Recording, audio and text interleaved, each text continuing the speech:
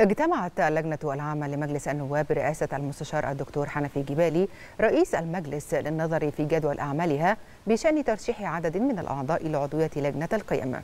وقد انتهت اللجنة العامة إلى ترشيح 14 عضو ليكونوا أعضاء بلجنة القيم في دور الانعقاد الرابع من الفصل التشريعي الثاني وفق ضوابط المادة الثامنة والعشرين من اللائحة الداخلية للمجلس.